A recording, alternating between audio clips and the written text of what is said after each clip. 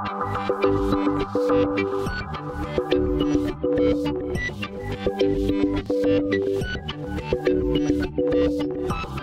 you.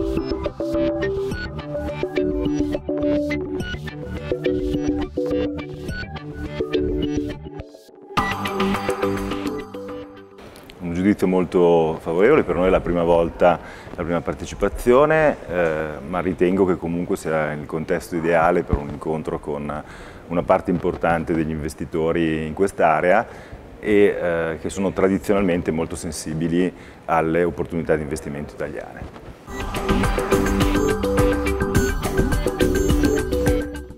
Assolutamente sì, lavoriamo in un comparto che è quello del digitale, in particolare siamo un venture incubator, quindi un'azienda di venture capital che lavora accelerando le imprese nella prima fase del loro sviluppo, quindi lavoriamo sulle start-up è un momento eh, straordinario per l'Italia, l'Italia sta conoscendo una crescita a due cifre nel comparto digitale anche perché partiamo indietro rispetto agli altri paesi, si creano quindi eh, decine di migliaia di nuove imprese che lavorano su questa filiera e che vanno a occupare eh, gli spazi applicativi nella crescita del mercato digitale italiano. Costruire imprese da zero consente quindi agli investitori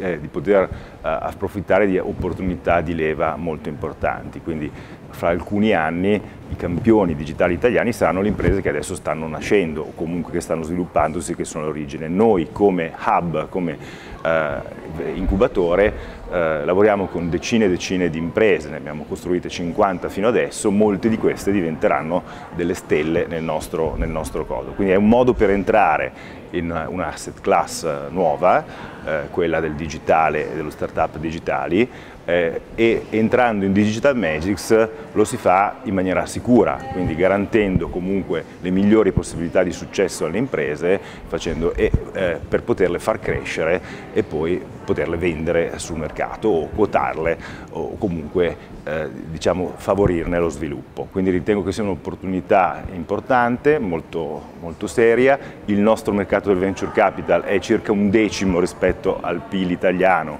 eh, rispetto agli altri paesi europei, quindi siamo agli esordi, siamo all'inizio e quindi un asset class che nascerà, crescerà e diventerà molto importante come tutti gli altri paesi del mondo.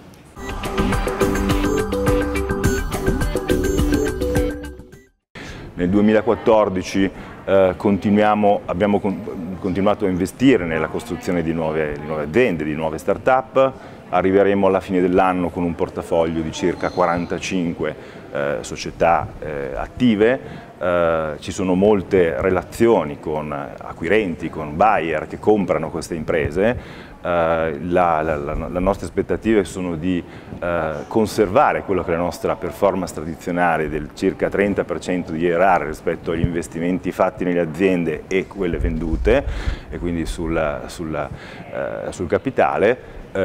E nel 2014 in particolare eh, abbiamo lanciato un piano molto importante sul Paese eh, per andare ad aprire nuove sedi ed espanderci ulteriormente rispetto ai eh, lab tradizionali di Milano da cui eravamo partiti, quindi abbiamo fatto molti investimenti anche in altre zone, a Roma, al sud, eh, stiamo pensando anche di eh, eh,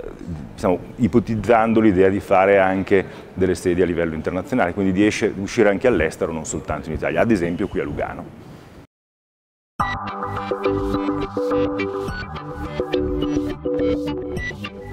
you.